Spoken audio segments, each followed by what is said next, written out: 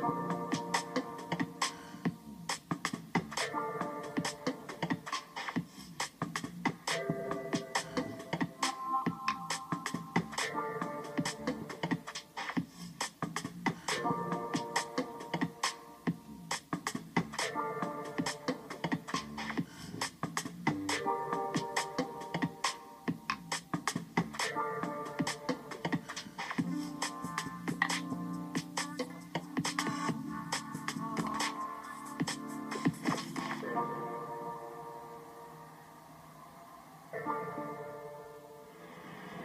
to Yas Marina for today's event. Joining me is Peter Kuss.